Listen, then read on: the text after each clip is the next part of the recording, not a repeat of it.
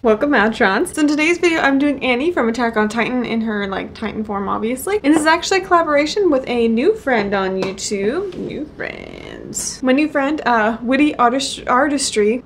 Witte Artistry. I will link her video down below in the description box as well as her YouTube channel. And I'll also link it up in the little eye that pops up and you can click on that at any time to check out her version. She's going to be doing a Colossal Titan, which I have already done a Colossal Titan, so if you'd like to also check out that, I will also link that down below, but hers is pretty awesome. So yeah, other than that, let's get painting.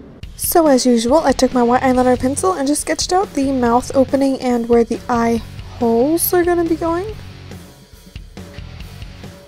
And then taking this custom mixed color, it's kind of like a tan white color, it's just lighter than my skin color, uh, almost like a foundation color if you want to go with that too, but all I did was I took a little bit of white, a little bit of yellow, and a very tiny bit of brown body paint from Mehron and just mixed them all together to get this color and I put it all over my face, avoiding the holes that I'm going to be painting in later.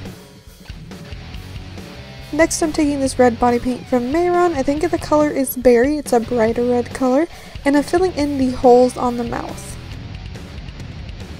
As well as taking that same berry color and filling in the holes for the eyes.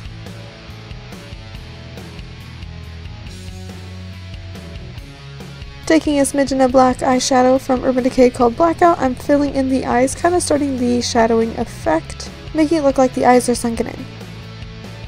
And now taking this black, I am doing the same thing to the very tops of the holes on the mouth to make it look like they are sunken in as well. And now taking some white body paint, I'm just kind of dragging that around the sides of those mouth openings to make it pop a little bit. As well as taking that same white color on a detailed brush, I am adding the dots that are in the eyes Taking a little bit of that same black eyeshadow, I'm going to go around the inside of the eyes, kind of going around where those dots are, just to add some more texture and some more detail into the eye shape. Now taking a teeny tiny bit of a gray eyeshadow, I'm going to be going around the eyes. The gray eyeshadow I have in a BH Cosmetics eyeshadow palette. It's like a giant one just to give them a more sunken in look and give them more of a cartoonish vibe since this is a cartoon-ish character. It's an anime character, but you know what I mean. Taking that same gray color, I drug it around the mouth holes just to make them look like they are, you know, sitting underneath the skin, doing kind of the same thing I was doing with the eyes.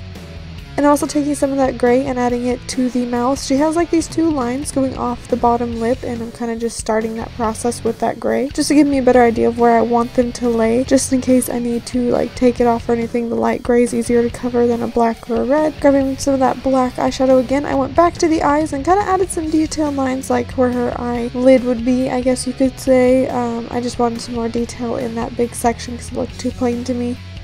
And now taking that same gray eyeshadow, I went down the bridge of my nose. It kind of just outlined my nose almost, like like if I was contouring it, but a little bit more extreme, more liney, just to add the more cartoony look, or anime look, whatever you want to call it. And then I continued to also shadow around the mouth a little bit more.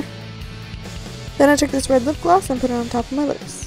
Then I took some of that black eyeshadow and just added it to the little detailed lines I have going off the lips. I decided they needed to be darker and blacker, so I just took that black and added it on top. As well as taking some more of that black and dragging it around any of the lines I already made on my nose and around my eyes. These are just spots that I felt like they needed to be a little bit deeper and a little bit darker.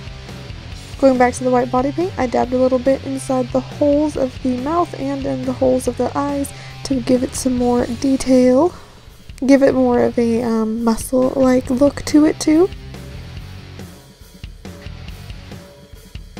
Going back to that white eyeliner pencil, I just sketched out the openings of the holes in skin that will be on my chest section. Taking that same red berry color, I filled in the neck and chest portion.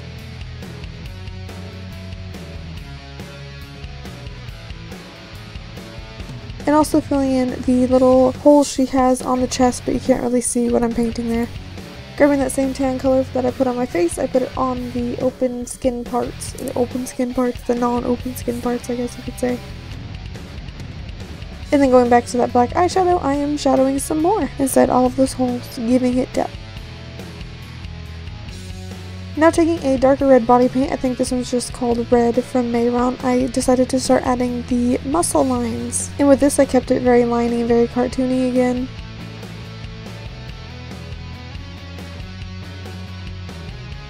Then taking some white body paint, I added some lines as well. I dabbed it with my finger to spread the color out to give it a softer look so it wasn't just a white line.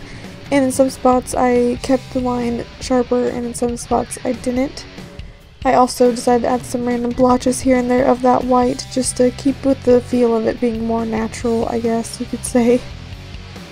Then grabbing that same gray eyeshadow I've been using, I added some pole lines around the skin section. And in any spots that I felt like they needed a little bit more of a deeper tone, I used that black eyeshadow. You could also use a dark brown to give it a more realistic vibe.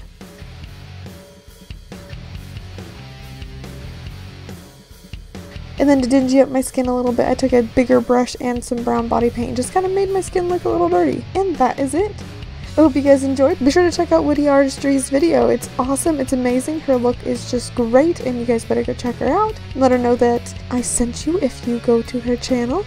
And yeah. Be sure to like, comment, and subscribe to my YouTube channel. Give me any other ideas on the art related projects and I shall see you guys next time. Bye!